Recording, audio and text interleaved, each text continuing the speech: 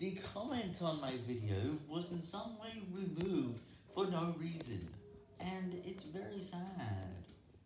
I really don't like it when comments are removed from my videos. In total, I've seen one comment for today, but it was not found, so this means it's very